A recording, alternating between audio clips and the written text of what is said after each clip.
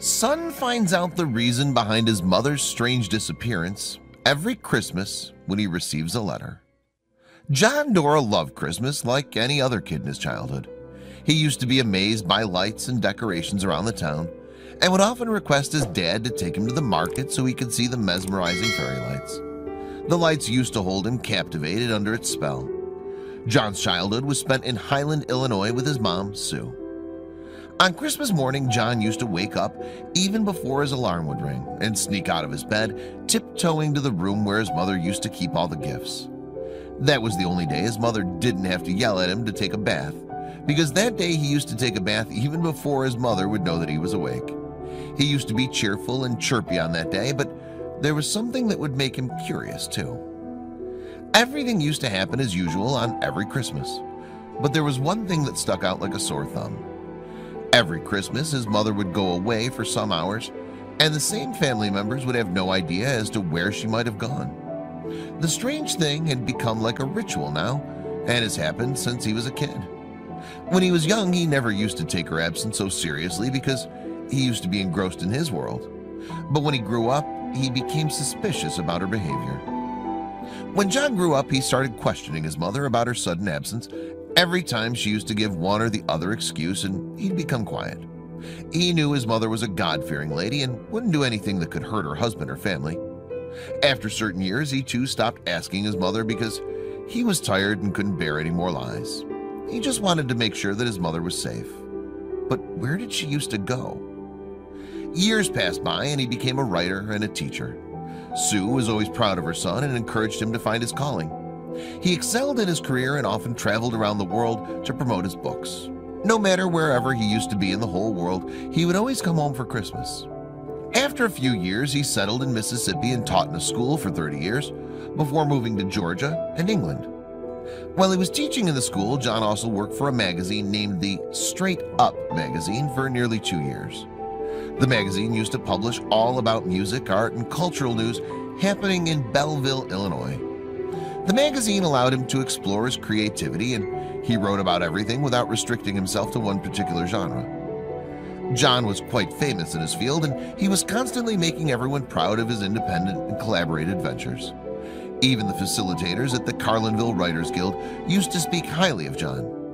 Robin seemed to be totally in awe of him and often compliments that he manages to find humor in just about everything and he's got great imagination. Sue was a very kind and adorable woman. She used to befriend anyone in just a few meetings. She loved arranging parties for her friends and was the most wonderful host. Despite having such a wide circle of friends, no one had an idea as to where she used to disappear in the evening of every Christmas. Her husband was also confused with her behavior, but never inquired about the same. When they couldn't find any solid reason behind her absence in the evening of every Christmas, the father gave up and accepted her theory that she used to go shopping to buy gifts and candies for the kids. But whenever she used to return, she would often complain that she couldn't find any good stuff in the market. The family members knew that she would often do all her shopping before Christmas. What was she hiding and why? As the years passed, John had become more considerate about his mother's safety than knowing about her secret. He wished if he could talk to her about the same. He wanted to drop her off wherever she used to go, but he didn't know how he would approach her and what he would say. He was doubtful if she would tell him the truth about her whereabouts when she kept it a secret for several years. It was an important year for him as he was trying his best to get his stories published in Chicken Soup for the Soul. A lot of writers aspire to feature their stories in the book because they know it'd be a matter of pride for them if the publishing house would consider their stories to be published in the book. And he was trying his best to get his story featured. It had been years since he wanted to ask about her secret disappearance but never dared to ask her about the same. He didn't realize that if he was growing old, so was his mother.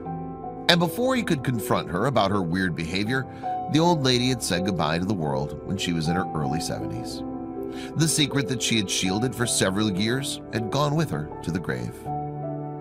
When he went to her grave to pay homage to his mother, he was completely shattered in pieces. There were so many things he wanted to tell his mother, but he was just waiting for the right time. He wanted to tell her that he believed in her and wanted to take care of her. He wanted to ensure her safety, but now it was too late. She was gone. He sat there for the whole night crying his eyes out. John had now left all the hopes of finding out the secret because every time he used to think about the same he'd often find himself crying because it would make him miss his mother She was the one who believed in him and his ventures and encouraged him to follow his dreams He wanted to be famous and now when he was famous his favorite admirer was gone He had everything at his disposal but no one to share the luxury with He could eat whatever he wanted or visit different places But after his mother's death his days had become bleak and hopeless. He confined himself in his house and would rarely go out. He'd stopped picking up calls and hardly replied to any emails until he received a letter that changed his life forever. A few days after Sue's death, when John came back home one evening, he found a letter in his mailbox. He picked it up and threw it on his desk without even looking at the sender's address. He just wanted to be with his father because it was his presence that could soothe his unrest soul. Who might have sent the letter and what was written in that letter. The letter was still on his desk. The man thought it might be some collaboration request, so he didn't open it. The next morning when he came near his desk, he remembered about the unopened letter. He picked it up with no interest, but something inside his heart prompted him to open the letter. What was written inside that letter? John tore the envelope from the edge and took the letter out of it. He first looked for the sender's name. It was written by a man named Robert. This name was completely alien to John. He'd never partnered with a man named Robert. This aroused his curiosity to read the letter further. Who was Robert and why did he send the letter to John? It seemed like the man knew his mother. They both were colleagues when she used to work at the toilet seat factory.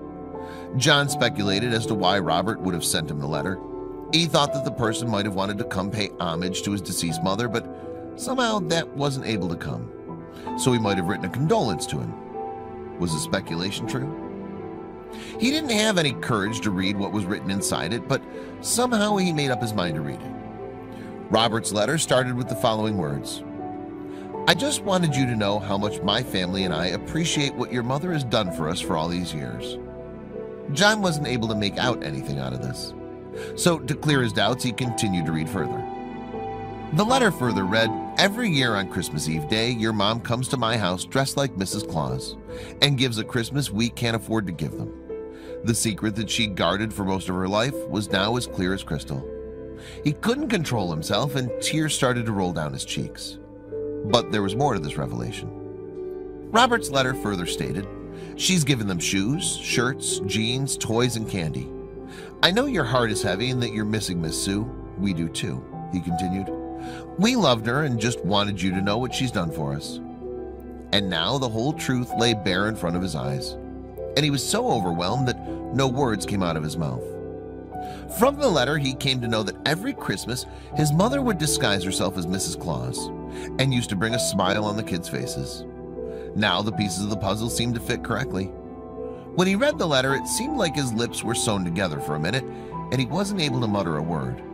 She'd always been his inspiration, but now he respected her even more than before. He knew his mother was the kindest woman anyone could ever meet but what she did for her coworkers' kids was far more than kindness. There might be some people who would show kindness to the needy ones, but he couldn't think of anyone who would go this far as to bring a smile on the kids' faces and restore their faith in the better days. She used to save her pocket money and buy gifts for his children. John was now proud of his mother. After reading the letter, he went to his dad to tell him the truth that was buried for so long. Even his father was spellbound by his wife's act and cried his eyes out on hearing the same. At this moment, he just wanted to hug his wife and tell her that he was the luckiest man on earth. He always used to adore her, but that day he was proud of her, just like his son. After the surprising revelation, the old man asked John to write a letter as a reply and thank him for letting him know about the woman's good deeds. John was too thinking about the same, so he didn't waste any more minutes and sat to write a letter to the man. Though he was a writer, he wasn't able to write a word in the note at that time. He was sobbing while remembering his mother. He somehow managed to write a reply and he wrote, That short note was the best gift that I've ever received from anyone, and sent the letter to Robert at the given address. What was the end? If you're thinking like that, then just watch further to know what John did afterwards. Writers often take inspiration from their own experiences and this experience was nothing less than a roller coaster ride for him. That night he didn't sleep at all. His mind was full of thoughts and he wanted to put pen to paper. A lot of inspirational stories come out every day, but for John, it wasn't just a story.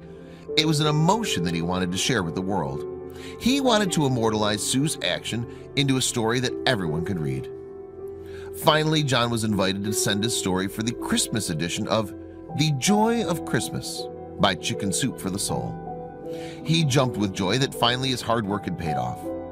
He considered his invite as the gift that God had given him on Christmas, and he thought that it was just his mother's good deeds that his fate smiled on him again, and he got an invite to submit his story.